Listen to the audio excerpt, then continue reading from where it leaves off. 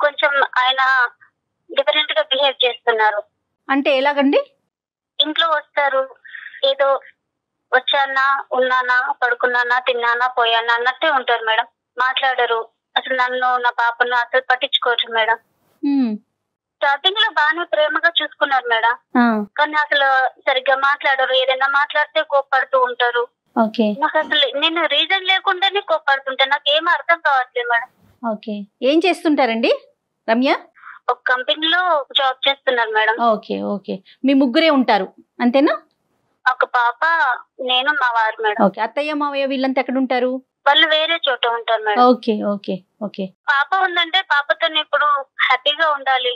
నాతో ఉండాలి. మేము ముగ్గురమే కదా మేడం ఇంట్లో మాట్లాడుకోవడానికి. ఎవరి పనులు వాళ్ళు ఉన్నామనంటే ఉమ్, అది నాకేం అర్థం కాకుండా మేడం ఇలా కొన్ని రోజుల నుంచి పాప పుట్టిన తర్వాత ఇంకా స్టార్ట్ ఇప్పటికి మ్యారేజ్ అయ్యి ఒక త్రీ ఇయర్స్ అవుతుంది మేడం. టూ ఇయర్స్ నుంచి ఇంకా ఇంతే నాకు టార్చర్ ఏం మాట్లాడరు? బాగా చూసుకోరు అనంటే బాగానే చూసుకుంటారు. ఓన్లీ మాట్లాడకపోవటం ఒకటే సమస్య. మాట్లాడడం అసలు హస్బెండ్ అంటే ఎలా ఉండాలి మేడం? ఒక ప్రేమ ఎఫెక్షన్ అనేది ఉండాలి కదా? స్టార్టింగ్లో ఉన్న లవ్ అనేది ఇప్పుడు లేకపోతే నాకేమనిపిస్తుంది? మరి ఎప్పుడైనా అడిగారా? ఎందుకు ఇలా ఉంటున్నారు? ఏంటి అసలు కారణం నేను ఏంటని? అడిగాను మేడం. అడిగితే ఏ నీకెందుకు అవన్నీ? ఇప్పుడు బానే ఉన్నది కదా ఇప్పుడు నీకేం తక్కువైంది? జాబ్ చేస్తున్నాను కదా నీకు అన్ని ఏం తక్కువ ఉన్నది అని ఇలా అంటున్నారు మేడం. అలాంటప్పుడు నేను ఏం మాట్లాడగలను? ఏం మాట్లాడలేకపోతున్నాను నేను. ఇంట్లో తన కోసం నేను వచ్చేసరికి కానీ ఎదురు చూడాలి అనేది కూడా నాకు అనిపించట్లేదు. అనిపించట్లేదు మేడం. అసలు ఏం మాట్లాడాలో కూడా అర్థం కావట్లేదు. ఆయన పెళ్ళి కాకముందు పేరెంట్స్ దగ్గర నాన్న దగ్గర ఎంత మంచి ఫ్రీగా ఉంటామో హస్బెండ్ దగ్గర కూడా అలాగే ఉండాలి అని అనుకుంటాం కదా మేడం. ఆ ఫ్రీడమ్ హస్బెండ్ దగ్గర మాత్రమే ఉంటుంది. అలాంటిది అని చూస్తే భయం వేస్తుంది మేడం నాకు. ఒక మిషన్ వర్క్ చేస్తుంది మనం తింటున్నాం అది అది ఫుడ్ ఇస్తుంది మనం తింటున్నాం అన్నట్టు మాత్రమే ఉంటుంది. ఓకే ఒక మాట్లాడపోవటం తప్ప ఇంకా వేరే ఏ ఇతర సమస్య లేదు అతనితో మీకు. డ్రింక్ చేసి వస్తుంటారు. డ్రింక్ చేసి వస్తుంటారు. పక్కన ఏదో స్మెల్ వస్తుంది అని అంటే కొంచెం ఫ్రెష్ అప్ అవ్వండి అంటే దానికి గొడవ చేస్తుంటారు. చాలా మంది ఆడవాళ్ళకి ఈ ఇలాంటివి కూడా లేనటువంటి పరిస్థితులు. అంటే ఇప్పుడు సదుపాయాలు చూసుకుంటున్నాడు అవసరాలు చూసుకుంటున్నాడు కావాల్సిన ఎటువంటి లోటుపాటు లేదు వేరే వ్యవహారాలు లేవు ఎప్పుడెప్పుడైనా అప్పుడప్పుడైనా తాగుతాడు. అతని వ్యక్తిత్వం అది. బేసికలీ ఏంటంటే రమ్య ఏ అంశాల గురించి అయితే కనుక తను తప్పుగా చూపెడుతుందో బహుశా తన యాంగిల్లో ఓన్లీ ఆ పాయింట్ ఆఫ్ వ్యూసే చూస్తుంది కాబట్టి అవి తప్పుగా కనిపిస్తుంది. ఇంకా మంచిగా ఏమున్నాయేమో అంటే చెప్పడానికి ఇంకా తొంభై ఐదు ఉండుంటాయి. పట్టించుకుంటాడు ఇది. తన తన ప్రాబ్లం ఏంటంటే మాట్లాడక తక్కువగా మాట్లాడతాడు. మాట్లాడినప్పుడు మాత్రం బిగ్గరగా మాట్లాడతాడు. వస్తున్నప్పుడు నాకు భయం వేస్తుంది. వ్యక్తిత్వ లోపమా కమ్యూనికేషన్ ప్రాబ్లమా అంటే వ్యక్తిత్వ లోపం ఉంటే కనుక ప్రతి మ్యారేజ్లో చాలా పెద్ద సమస్య. అది తిరిగి రాలేనటువంటిది ఆ, తీర్చలేనటువంటిది ఇక్కడ communication difficulty communication difficulty can all always be rectified ninety five percent. Marital disputes marriage భార్యాభర్తలకు సంబంధించిన డిస్ప్యూట్స్లో ఏదో పెద్ద పెద్ద వ్యవహారాలు ఏమి ఉండవా బేసిక్ కమ్యూనికేషన్ డిఫికల్టీ ఉంటుంది. అతను మాట్లాడు అతను మాట్లాడకపోయినా కూడా అతని లోపల ఉన్న భావాన్ని ఏంటి అన్నది మీకు అర్థం చేసుకోవటం కష్టము. ప్రెడిక్షన్ లేదు. అంటే ఇప్పుడు అరుస్తాడా ఇప్పుడు మెత్తగా ఉంటాడా మాట్లాడతాడా నవ్వుతాడా కోపడతాడా అని ప్రెడిక్షన్ లేదు. ఈ రెండే అంశాలు మీకు. అయితే మీ ఇద్దరి మధ్యన ఉండే కమ్యూనికేషన్ డిఫికల్టీ ఇలా ఉంది అనేది పెద్దవాళ్ళతో ఎప్పుడన్నా మాట్లాడారా? అమ్మ నాన్న ఈ సమస్య వస్తుంది. లేదంటే అత్త మామ ఈ సమస్య వస్తుంది అనే అంశం పెద్దలు ఎప్పుడన్నా జోక్యం చేసుకుని ఈ కమ్యూనికేషన్ డిఫికల్టీని రెక్టిఫై చేసేటటువంటి ప్రయత్నం చేశారా? ఆ మాట్లాడాను సార్ ఒకసారి. మా పేరెంట్స్తో మాట్లాడాను. ఓకే. మగవాళ్ళు ఉన్నప్పుడు అలాగే ఉంటదమ్మా. బాధ్యతలు పెరుగుతాయి కదా సర్దుకుపోవాలి మనమే సమాజానికి. కనిపించదు. నాలుగు గోళ్ళ మధ్యన రమ్య లాంటి ఆడవాళ్ళకే కనిపిస్తుంది కానీ బయట ప్రపంచానికి కనిపించదు. ఇప్పుడు మేము మాట్లాడే అవకాశం దాకా వచ్చిందంటే ఏంటి మీరు ఏం ఎక్స్పెక్ట్ చేస్తున్నారు? అంటే ఈ ఈ మధ్య నేను కొన్ని రోజులుగా ఒక అబ్బాయిని ఇష్టపడుతున్నాను మేడం?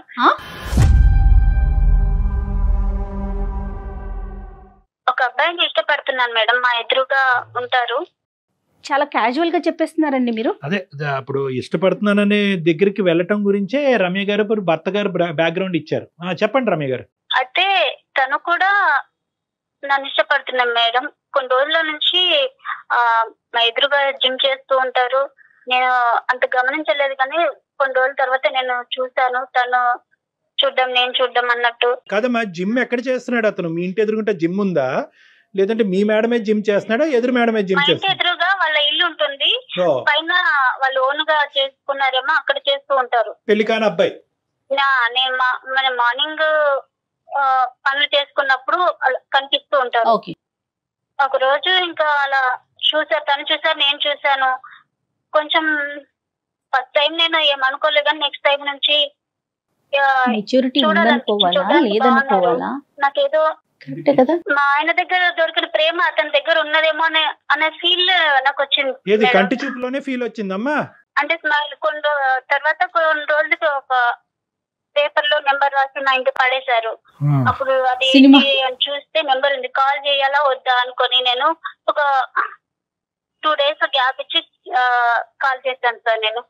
కాల్ చేస్తే బాగానే మాట్లాడారు. ఒక టూ త్రీ టైమ్స్ మీట్ అయ్యాము. నాకు ఏది కావాలన్నా అది చాలా కేర్గా చూసుకునేవారు సార్.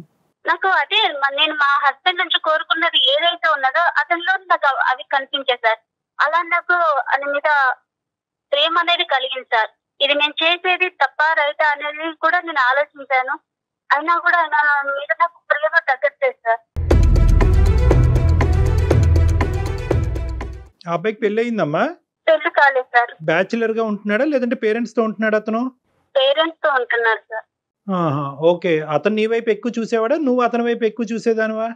తను ఇంత ముందు నన్ను చూసినట్టున్నారు. నేను ఒకరోజు చూస్తే నన్ను గమనిస్తూ ఉన్నారు. సరేలే అని నేను రెండు మూడు రోజులు అలాగా చూసి చూడనట్టు చూసి అలా చూస్తే నన్నే గమనిస్తున్నారని నాకు అర్థమైంది సార్. వాడికి బుర్రలేదు నీకు బుర్రలేదు నీకు పెళ్ళైనటువంటి ఆడపిల్లవి నీకు ఒక పా- పాప బాబు ఉన్నాడు ఓకే నువ్వు నువ్వు ఆ అబ్బాయి పెళ్ళి కాలేదు అనే అంశం నీకు తెలుసు ఆ అబ్బాయి జిమ్ చేస్తున్నాడు అండ్ ఓకే నీ నీకు ఒక బాధ్యత ఉంది నీ భర్తతో రెండు మూడు సమస్యలు ఉన్నాయి అవేమి పెద్ద అంత తలకిమించిన భయంకరమైనటువంటి సమస్యలు ఏమీ కాదు కమ్యూనికేషన్ ఇంప్రూవ్ చేసుకోవటం అనే సబ్జెక్టే కానీ ఎవరు ఆలోచించలేదమ్మా నాకు కావలసినవి అతని దగ్గర దొరికేసినవి అనేటటువంటి కంక్లూజన్కి ఎలా వచ్చేసావు?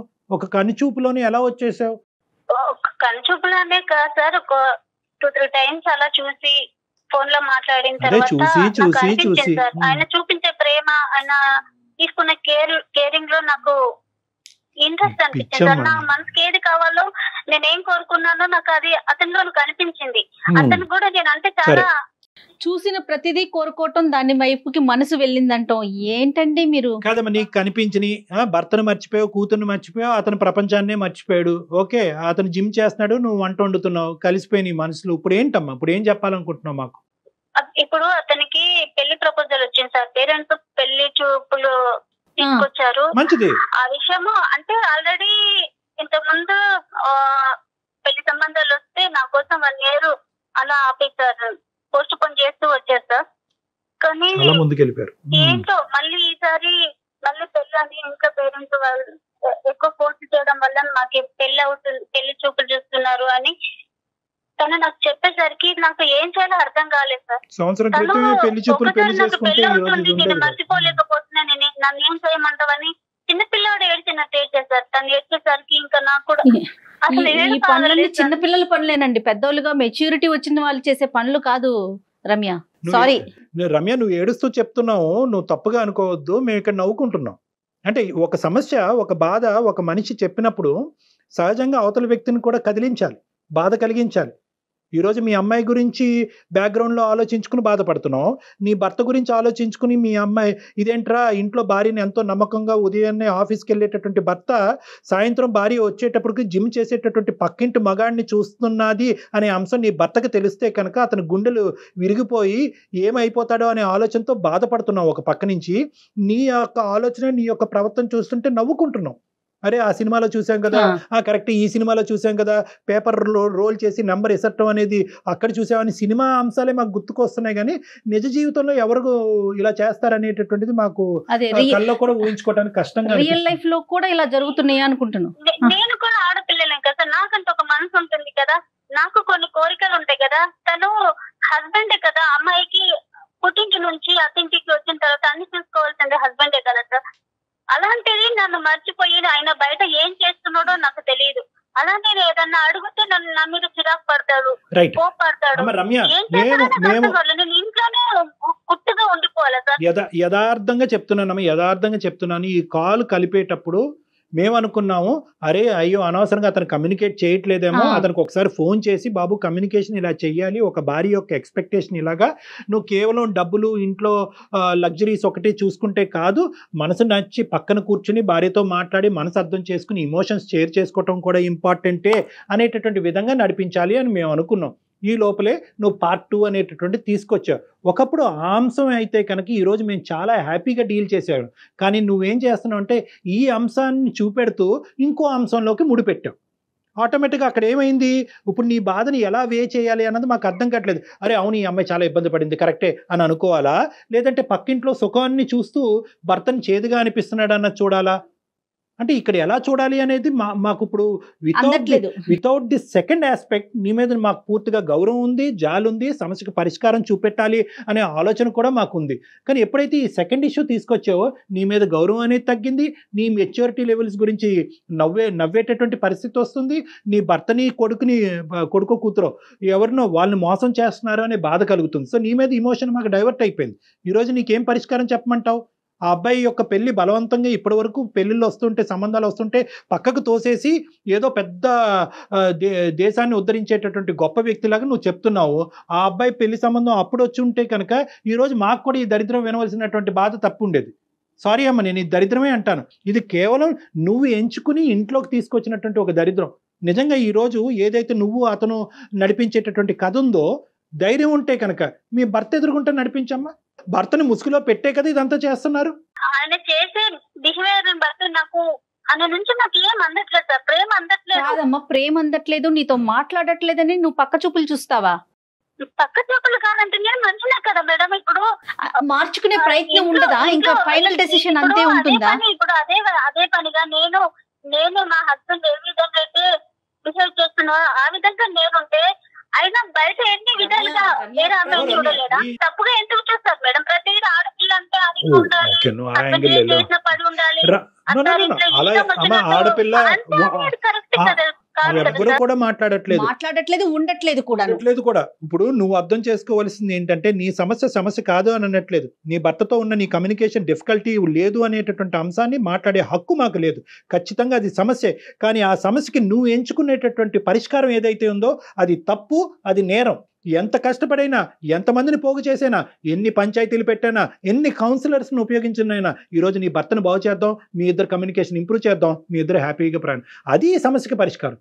అంతేగాని వినట్లేదు సార్. నేను ఏం చేయాలి సార్? No, నాకు no, అది no. అర్థం కాకనే మీకు మెసేజ్ రమ్య రమ్య ఒక్క నిమిషం ఉండండి ఒక్క నిమిషం. సమస్య లేకుండా ఒక ఇష్యూ అంటూ లేకుండా ఎంతమంది ఏ ఉన్నారండి అది ఇంపాసిబుల్ అమ్మా. అది అమ్మాయికి కూడా తెలుసు. రైట్ నా భార్య ఇలా వెళ్ళిపోయిందని చెప్పి నీ కొడుకుని అలా ఒక మూలన వేసేసి నీ భర్త కూడా పక్కింటి ఎక్సర్సైజ్ చేసి ఇంకో లేడీతో వెళ్ళిపోతే ఓకేనమ్మా నీకు?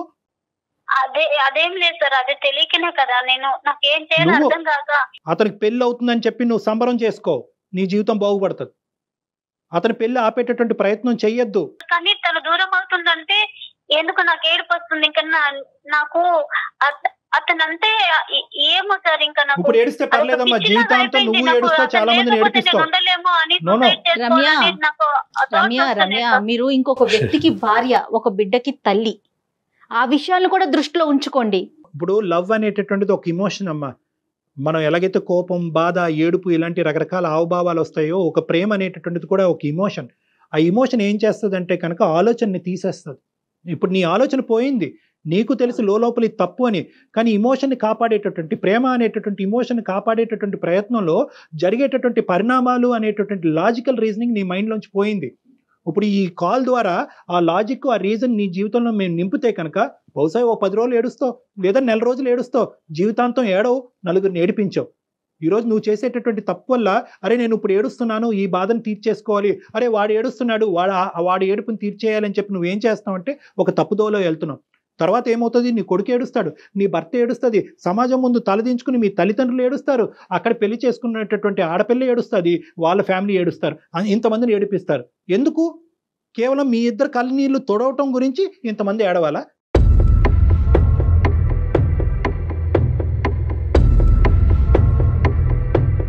సో ఇది కరెక్ట్ కాదమ్మా. ఇక్కడ లాజిక్ కావాలి. ఇమోషన్ కాదు. ప్రేమ అని ఇమోషన్ తాత్కాలికంగా పక్కన పెట్టండి. దీన్ని ప్రేమ అంటారా? నేనైతే అన్నాను దీన్ని ఆకర్షణ అంటాను. ఆ అతనికి ఏదో లేదు కాబట్టి నీ దగ్గరికి వచ్చాడు నీకేదో దొరకట్లేదు కాబట్టి అతని దగ్గరికి వెళ్ళావు. సో లేనటువంటిది తీర్చుకునే దాని గురించి ప్రేమను డిఫైన్ చేయాలంటే తప్పమ్మ. దీన్ని ప్రేమ అనరు. నీ భర్తతో ఉండేటటువంటి బంధం దాన్ని ప్రేమించు. నీ కొడుకుతో ఉండేటటువంటి బంధం దాన్ని ప్రేమించు. మీరందరూ గౌరవప్రదంగా సమాజంలో ఉంటున్నారు దాన్ని ప్రేమించు. సో ఈ రోజు నీకు బాధగా ఉండొచ్చు మా మాట బాధగా ఉండొచ్చు. ఇదేంటి సార్ ఆ అబ్బాయి ఏడుస్తున్నాడు కదా సార్ నాకు బాధగా ఉంది సార్ మీ ఇద్దరం దూరం అయిపోతాం సార్ అంటే కనుక నో. ఎంతైనా బాధపడండి. వంద రాత్రులన్నా నిద్రపోకుండా ఉండండి. ఎంతైనా ఏడవండి.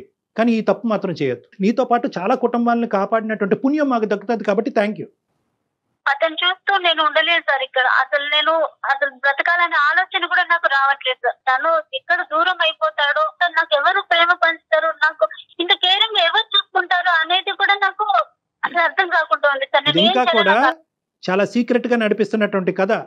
రమ్య చాలా సీక్రెట్గా కనిపిస్తుంది కథ కాబట్టి ఈ ప్రేమను మీరు ఆనందిస్తున్నారు అతను ఆనందిస్తున్నారు. This is a secret love ఇది ఒక బ్యాడ్ లవ్ ఒక సీక్రెట్ లవ్ ఇది ఎప్పుడైతే బట్టబయలు అవుతుందో ఎప్పుడైతే సమాజానికి తెలుస్తుందో ఎప్పుడైతే ఆ అమ్మాయి తల్లి అబ్బాయి తల్లిదండ్రులకి నీ భర్తకి తెలుస్తుందో అప్పుడు అసలు సిసలైనటువంటిది ఉంటుంది.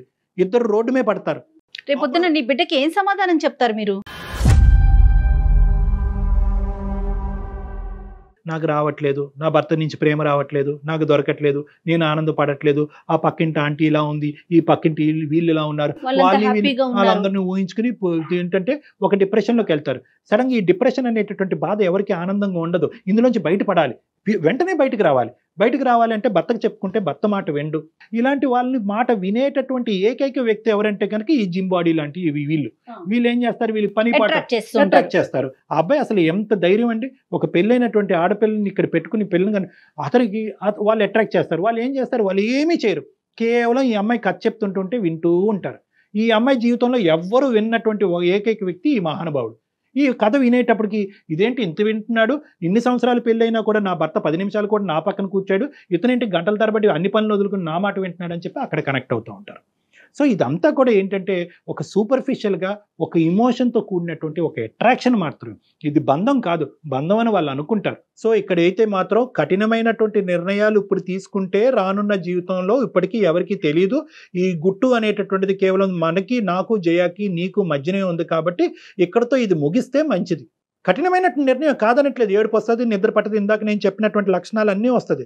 కానీ ఈ బాధకి ఇప్పుడు పడేటటువంటి ఈ తాత్కాలికమైనటువంటి బాధకి అది దీర్ఘకాలికమైనటువంటి పరిష్కార మార్గం కింద నువ్వు ఎత్తుక్కుంటే నీ అంత పిచ్చిది ఎవరు లేరు. చాలా ఇమోషనల్గా చెప్తున్నాను. ఎందుకంటే నువ్వు తప్పు చేస్తావు ఇంకా ఇప్పటికీ ఎవరికి తెలియదు కాబట్టి నిన్ను ఆపేటటువంటి ప్రయత్నం మేము చేయాలి కాబట్టి నేను ఇంత ఇమోషనల్గా మాట్లాడుతున్నాను నేను. సో దీర్ఘకాలికమైనటువంటి సంతోషం నీ జీవితంలో కావాలి అంటే ఇప్పటికైనా నీ తప్పు ఏంటి అన్నది అర్థం చేసుకో. నీ భర్తతో నీ భర్త- తప్పేనమ్మా, తప్పే.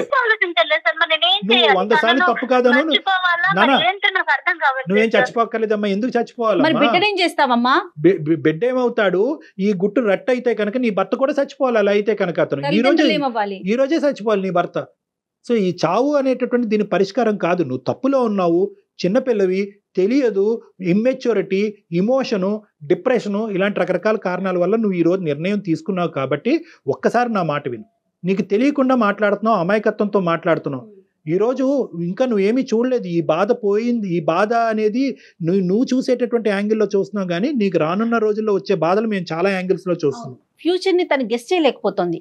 ఈ ఈ పనికిరాని కథని ఇప్పుడు దాకా మాకు ఏదైతే చెప్పావో ఈ పనికిరాని కథని ఇక్కడతో వదిలేసి ఇక్కడ కంచికి తీసుకురా. ఓకే మళ్ళీ రీకనెక్ట్ అవ్వకూడదు. ఆ అబ్బాయి పెళ్ళి చేసుకుంటాడు. రేపొద్దున ఏ ఫీజ్ ఫేస్బుక్లోనో ఇంకో మెసేజ్లో హాయ్ అమ్మ హాయ్ బంగారం హాయ్ తల్లి అని అంటే కనుక నువ్వు మళ్ళీ కనెక్ట్ అయ్యావు అంటే కనుక అప్పుడు చాలా కుటుంబాలు సర్వనాశనం అవుతాయి.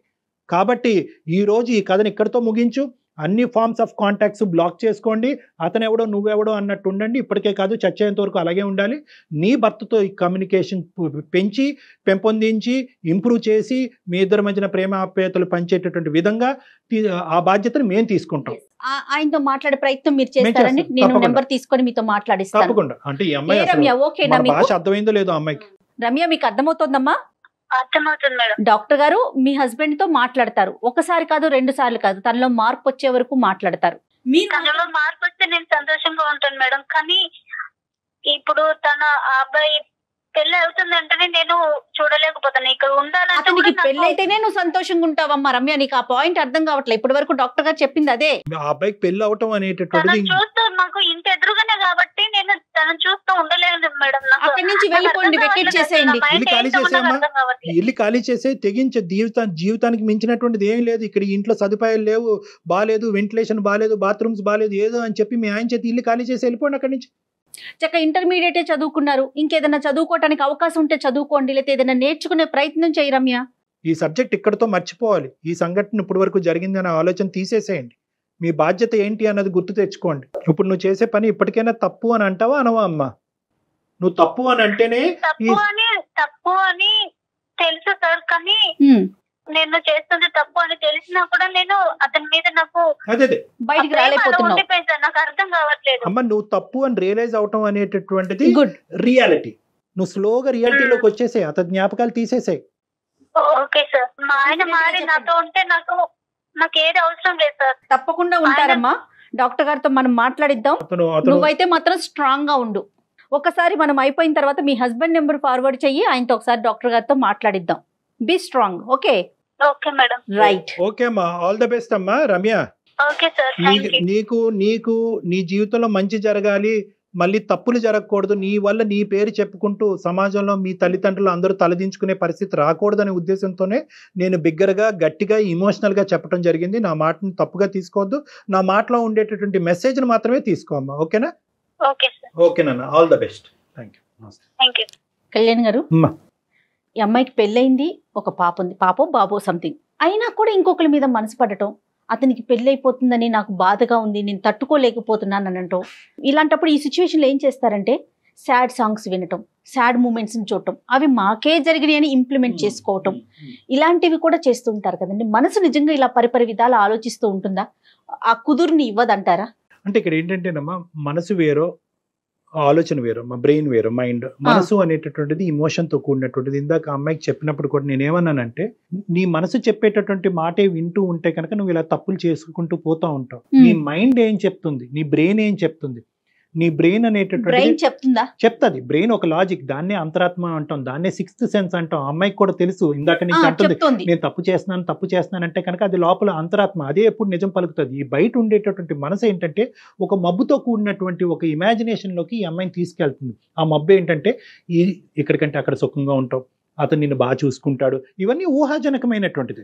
ఇవన్నీ ఊహాజనకమైనటువంటి. దానివల్ల ఏమవుతుందంటే లోపల ఉండేటటువంటి కాన్షియస్ సిక్స్ సెన్స్ అంతరాత్మ లేదు అక్కడికి వెళ్తే మోసపోతావు అక్కడికి వెళ్ళిన తర్వాత అందరూ ఇబ్బంది పెడతారు అనేటటువంటి చెప్తూ ఉంటుంది. కానీ ఈ- ఆలోచన మీరు ఇందాక అన్నట్టు ఈ మ్యూజిక్ వింటాం ఈ పాటలు వింటాం వేరే ప్రేమించేటటువంటి వాళ్ళని చూడటం వాళ్ళ సంసారాల జీవితాలు బాగున్నాయి అనుకోవటం వల్ల ఏమవుతుందంటే ఈ మత్తు కాస్త ఏంటంటే ఈ సిక్స్ సెన్స్ లోంచి వచ్చేటటువంటి ఆలోచనని తొక్కేస్తూ ఉంటుంది.